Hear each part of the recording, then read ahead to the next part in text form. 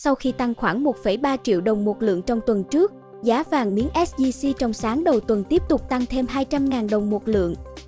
Vào khoảng 8 giờ 30 phút tại thành phố Hồ Chí Minh, công ty B&J báo giá vàng SJC ở mức 71,3 triệu đồng một lượng mua vào và 72,3 triệu đồng một lượng bán ra, tăng 100.000 đồng chiều mua và 200.000 đồng chiều bán so với cuối tuần trước.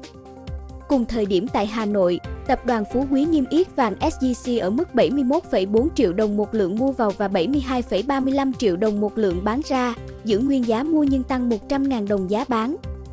Công ty SJC mặc dù giữ nguyên giá vàng SJC so với cuối tuần trước nhưng neo ở giá cao với 71,3 triệu đồng một lượng mua vào và 72,32 triệu đồng một lượng bán ra.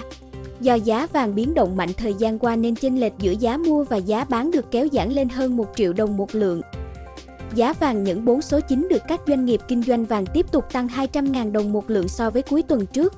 Cụ thể, công ty SJC giao dịch vàng nhẫn SJC 1, 2 và 5 chỉ ở mức 60,5 triệu đồng một lượng mua vào và 61,6 triệu đồng một lượng bán ra, tăng 200.000 đồng cả hai chiều mua và bán.